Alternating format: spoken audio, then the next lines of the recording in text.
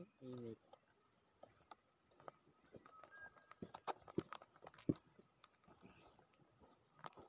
Init. Mainit. Binaligtad ko muna.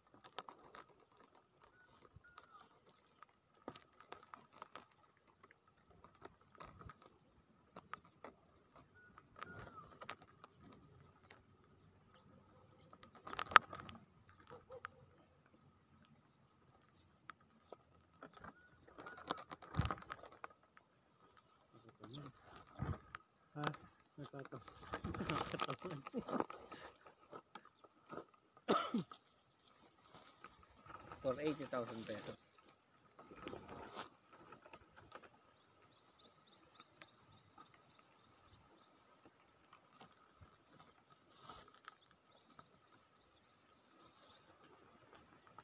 Pero yung amo ni Reggie, updated ang bayad. Parang oo. Basta may advance pa nga minsan. Advance? Ano ba?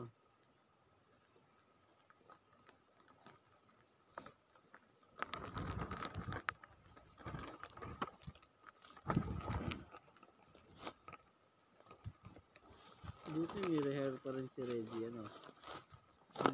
Mabait din naman siguro si Reggie. Okay, oo.